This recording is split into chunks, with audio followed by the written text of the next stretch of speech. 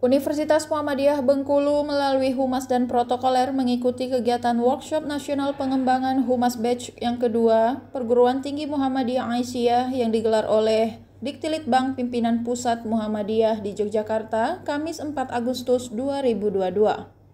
Demikian disampaikan Kabak Humas dan Protokoler UMB, Noverianto yang mengikuti kegiatan tersebut. Workshop pengembangan humas ini diikuti oleh Humas PTMA se-Indonesia.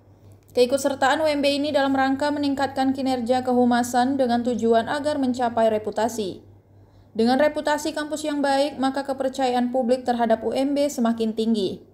Sementara itu, Yamadipati Seno, redaktur Mojok dalam materinya mengatakan memperlakukan media sosial institusi sebaiknya dikelola layaknya pasangan hidup kita. Akun media sosial kecenderungannya menjadi sangat personal, informatif, otentik, dan memenuhi ekspektasi audiens.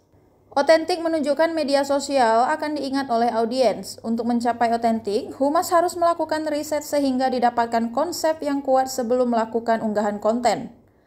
Seno menjelaskan bahwa ketika sesuatu menjadi viral, terjadi cross-platform dengan terunggah di berbagai platform.